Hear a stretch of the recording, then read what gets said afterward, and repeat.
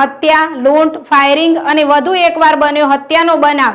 ઉનાના કારાપણ ગામે સગા બે ભાઈઓએ મરી કરી મોટા ભાઈની હત્યા. લગ્ન કરવા જેવી નજીવી બાબતે કરાઈ હત્યા, લગ્ન જેવી બાબતમાં પહેલા બોલાચાલી અને પછી થઈ હત્યા. બે સગા ભાઈઓએ દોરીથી ગરા ટૂંપો આપી મોટા ભાઈની કરી હત્યા. લોકડાઉનના સમયમાં ઉનામાં કાયદો વ્યવસ્થાની હાલત કથળી. ઉનાના કારાપણ ગામે રહેતા રમેશ વાજાની સગાઈ ઓલવાણ ગામે થઈ હતી. પરંતુ રમેશ વાજાની શરાબની લતના કારણે સગાઈ તૂટી ગઈ હતી. તે સમય દરમિયાન નાનાભાઈ ભરતના લગ્ન થતાં મોટોભાઈ રમેશ લગ્ન કરવાની નજીક પકડી અને સવારથી દારૂનો નશો કરી રોજ ઘરમાં ઝઘડો કરતો હતો. ગત રાત્રિના રમેશ નશામાં ચૂર થઈ નાનાભાઈ ભરત તથા જયંતિ સાથે ઝઘડો કરવા લાગ્યો અને બીભત્સ ગારો બોલતા ભરત અને જયંતિ મોટાભાઈ રમેશની મારામારી સૂતરની દોરીથી ગળા ફાંસો આપી મોતને ઘાટ ઉતાર્યો હતો. આ વાતની જાણ શેરી પાડોશમાં થતા સમગ્ર ખૂની ખીલ સામે આવ્યો હતો. આ હત્યાની પોલીસ ફરિયાદ મૃતકના માતા જાહીબેન વાજાએ પોતાના જ બંને નાના દીકરા વિરુદ્ધ ઉના પોલીસમાં ફરિયાદ નોંધાવી હતી.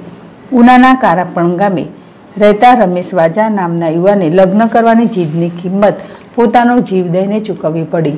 રમેશની લગ્ન કરવાની જીદના કારણે તેના પોતાના જ બે સગા ભાઈ સાથે ઝઘડો કરાતા બીભત્સ ગારો બોલતા નાનાભાઈ ભરત વાજા અને જયંતિ વાજાએ મોટાભાઈ રમેશને માર મારી સૂતરની દોરી વડે ઘરા ફાંસો આપી અને તેને મોતને ઘાટ ઉતારી દીધો હતો.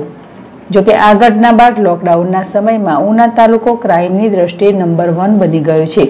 લોકડાઉન શરૂ થતાના સાથે ઉના શહેરમાં સોપારી તમાકુના ગોડાઉનમાં લૂંટ, ગામડામાં વાડીમાં હત્યા ઉના શહેરમાં દોરા દિવસે પૂર્વ ધારાસભ્ય પર ફાયરિંગના બનાવમાં સામસામે ફાયરિંગ થતાં પાંચ લોકો ઘાયલ અને ત્યારબાદ વધુ એકવાર ઉનાના કારાપાણા ગામે અત્યારથી ઉનામાં કાયદો વ્યવસ્થા કથરી હોય તેવી ચર્ચા વાયુ વેગે પકડાયો છે.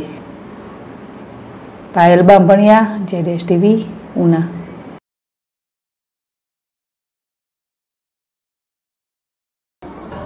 ત્યાં જતો વાંચતા વાંચતા હું વૈકી દોડી મારી કરી પછી છોકરા રહે પછી એ પછી મારે થઈ હમ. એ ગાળું બોલવાનું કારણ શું હતું? આખો આપણે ગયા તો કીધેલો હતો હા વસ્તુનો સ્કૂલનો હમ હમ. કે દારૂ પથરી ક્યાંક પડ્યું હે એનું. એવી કંઈક વાત મળે છે કે જે મરણ જનાર ભાઈ છે તેને કંઈક લગ્ન કરવા બાબતે ગાળું બોલતા. આ લગ્ન બીજા વેસ્તરા ભાઈ લગ્ન કર્યા લગ્ન ને જ કર્યા. હમ. દારૂ પૂર આવે ને પછી અમને ગાવી દે. પછી હું બન્યું પછી પાછા એ બેઠા પછી પછી પછી મારે કે થઈ હમ હમ. પછી એ રાંધવું ગળા હમ